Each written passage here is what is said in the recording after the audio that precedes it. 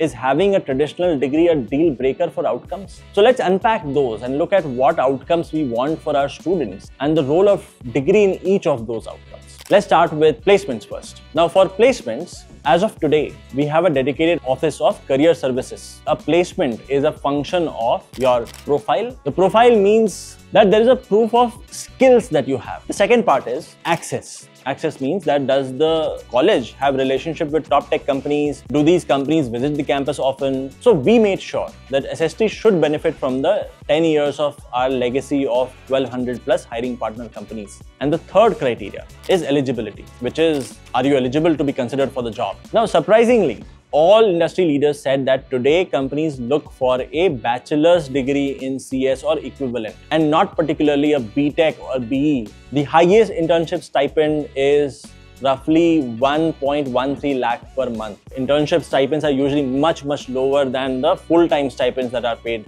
once somebody converts to a full-time job. It became very clear that today top tech companies don't really care about a traditional degree as an eligibility criteria.